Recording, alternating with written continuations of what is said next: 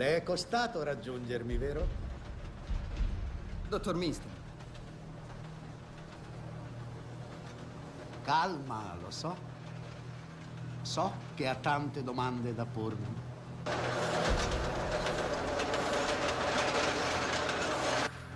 Viaggiamo a una velocità impossibile. Un semplice scambio di binari. Il treno incrocia un nodo dopo una curva. La combinazione giusta, al momento giusto, per applicare le proprietà del nastro di Mebius.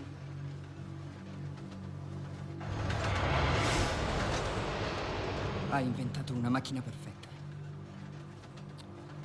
Non bestemmi, figliolo. L'uomo ha inventato un'infinità di macchine, ma dimentica che egli stesso è una macchina molto più complicata di tutte quelle che ha inventato. Ora non ci saranno limiti. Non ci sono mai stati. L'uomo non conosce i suoi limiti né le sue possibilità. Non sa nemmeno fino a che punto non si conosce.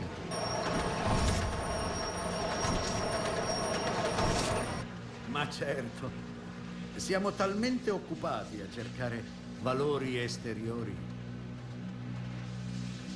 che non ci rendiamo conto di ciò che realmente ha valore. Ma questo è importante. Basterebbe dirlo perché tutto cambia. Però lei lo ha detto.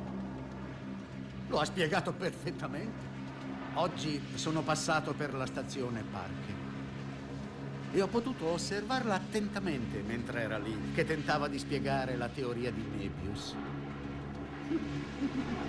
Forse qualcuno le ha creduto. No. Però a lei crederebbe. No.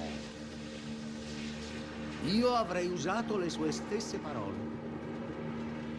Avrei detto le stesse verità. Il fatto è che viviamo in un mondo dove nessuno più ascolta, mio caro Pratt.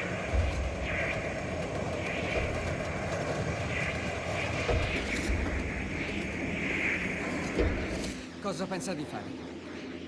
Niente? Come niente? Non si preoccupi, Pratt. Arriverà il momento.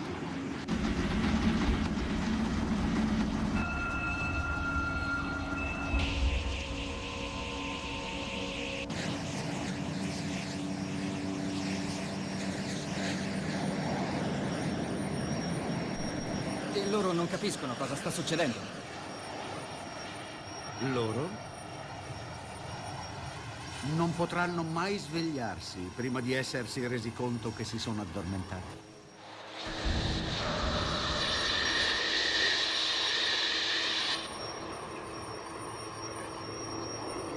Di cosa ha paura, Pratt? Le vertigini. È normale.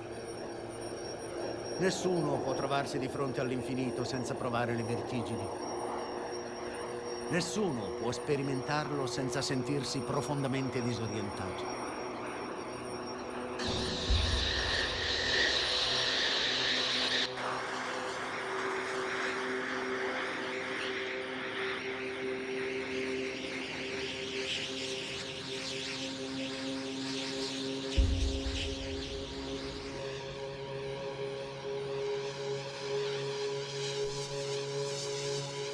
Se noi ci stiamo muovendo alla velocità del pensiero,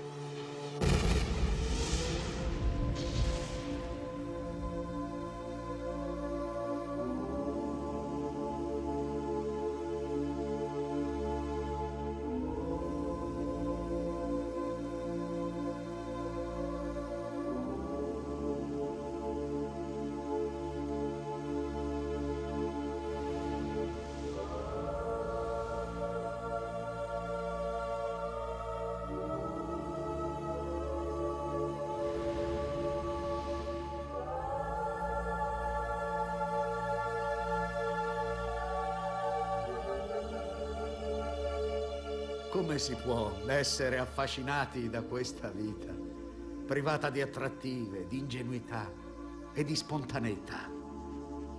Come non preferire di restare qui nell'oscurità?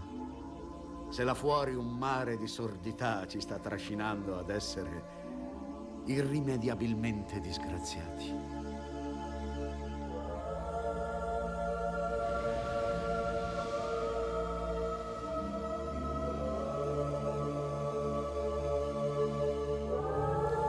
Tutto questo non deve andare perduto.